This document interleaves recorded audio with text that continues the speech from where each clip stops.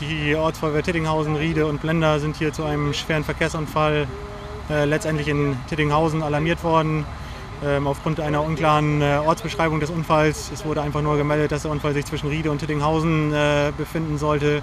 Mussten wir dann noch ein wenig suchen, äh, haben das dann aber recht schnell koordiniert gekriegt und äh, sind dann hier an der Unfallstelle eingetroffen und fanden hier einen Pkw auf dem Dach liegend an einem Straßenbaum, äh, ja, teils von einem Lkw eingeklemmt vor.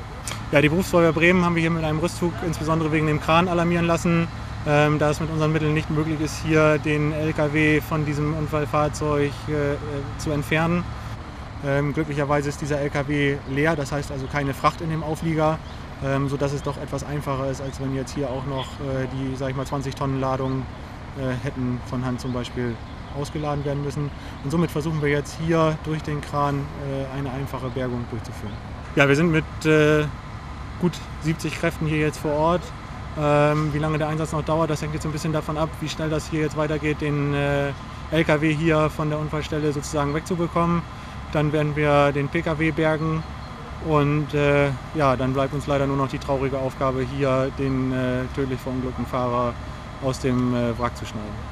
Ja, sicherlich ist das kein alltäglicher Verkehrsunfall. Äh, gerade hier im ländlichen Raum kommt es halt oft zu Unfällen mit Baum, also PKW gegen Baum. Ähm, aber dass dann ein LKW beteiligt ist und äh, dass dieser dann eben geborgen werden muss, das ist doch durchaus schon äh, eine seltene Einsatzlage. Ja, wir haben auch noch die Drehleiter der Stadt Achim dann hier äh, an die Einsatzstelle gerufen, äh, um einige Äste äh, sicher entfernen zu können von dem Straßenbaum, damit der Kran hier eben zum Einsatz kommen kann, ähm, da hier sonst die Bergung äh, weitaus schwieriger gewesen wäre. es wurden noch weitere Teile der beteiligten Fahrzeuge gesucht. Äh, und da haben wir natürlich dann dem Sachverständigen bzw. der Polizei geholfen.